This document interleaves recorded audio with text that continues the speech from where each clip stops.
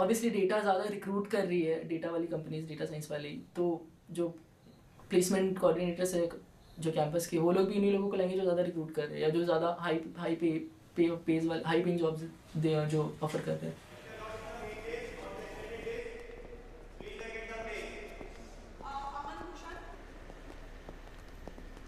मेरे बहुत, एक दो फ्रेंड्स हैं, जो कोर में उनका पूरा प्रोफ़ाइल बस कोर में ही वो ज़िंदगी में सब कुछ किया कोर में, उनको वो डिसाइड था कि उनको कोर में ही जाना है। ठीक है लेकिन कोर की दो कंपनीज़ आती है, वो तीन तीन चार चार या जितने भी लोग लेके जाती है, बाकी लोग के पास कोई ऑप्शन ही नहीं है। मतलब वो पूरा ज़िंदगी उसी चीज़ के लिए प्रिपेयर किया, लेकिन उनको पॉजिटिव ही नहीं है। जिस दो कंपनीज़ आ रही है, वो जो भी सिलेक्ट जितने भी लोग सिलेक्ट करके जा रही है बच्चे वाले भी हो क्या जो उसमें फाइट में तो वो एक मिसमैच है। इसीलिए फिर ये